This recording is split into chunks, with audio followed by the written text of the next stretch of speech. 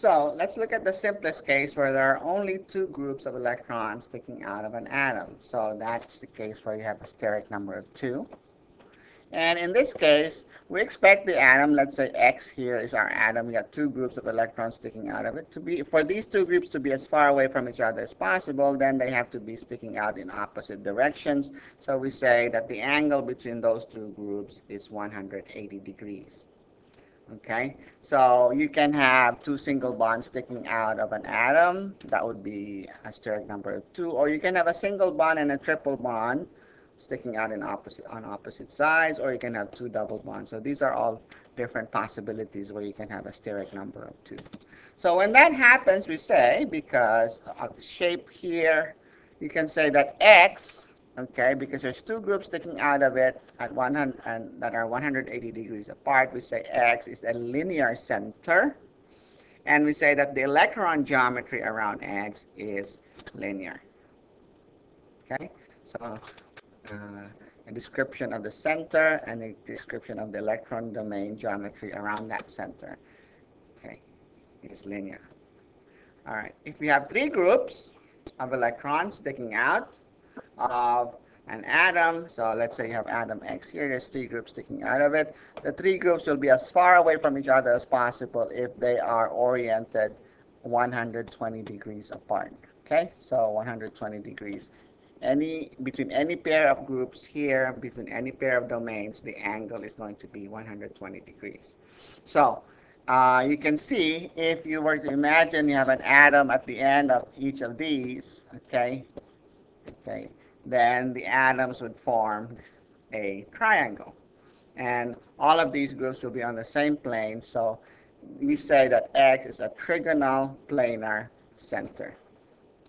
Okay, so these are mm, the different ways that this can happen. You can have three single bonds sticking out. You can have a, two single bonds and a double bond, a single bond, a lone pair, and a double bond. Three groups, steric number of three.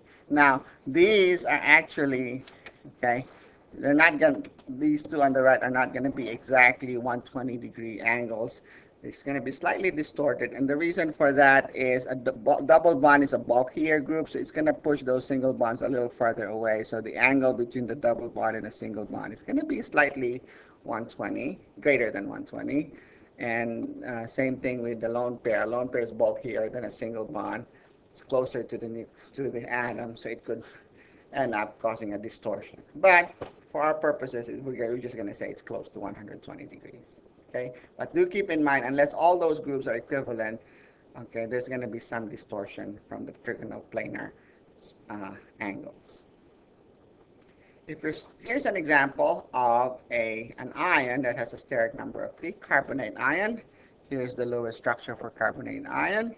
Okay, so here's your carbon right here.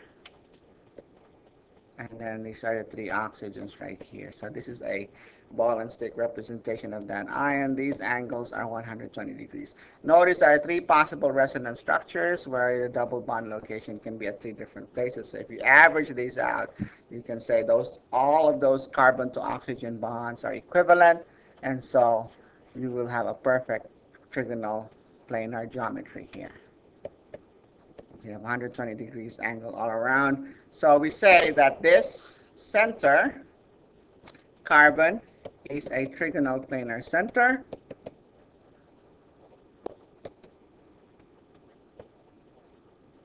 And the shape of the ion is also trigonal planar.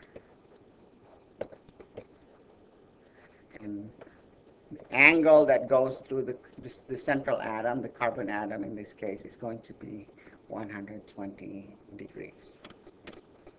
Now, what are those, what if like I said, if those three groups are not equivalent, then the geometry is slightly distorted. So for example, in the formaldehyde molecule, okay, here's the Lewis structure for formaldehyde. You have, if you look at this carbon atoms, you have one, two, three groups sticking out of it. So they're going to be 120 degrees apart, more or less.